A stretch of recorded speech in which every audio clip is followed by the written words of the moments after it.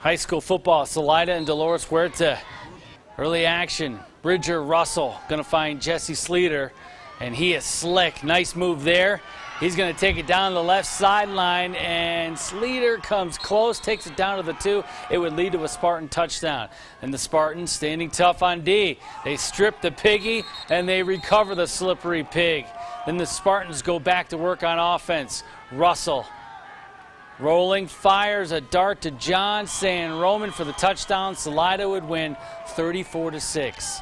Finally, it's time for Nam Noob's Nuttiest. This week we start the Nutties with an inspiration.